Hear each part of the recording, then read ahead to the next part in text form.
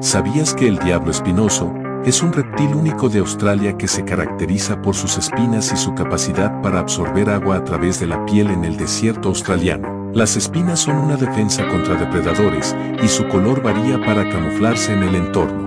Durante la noche, aprovecha el rocío en la vegetación para hidratarse a través de su piel especializada. Esta adaptación le permite sobrevivir en un hábitat tan árido.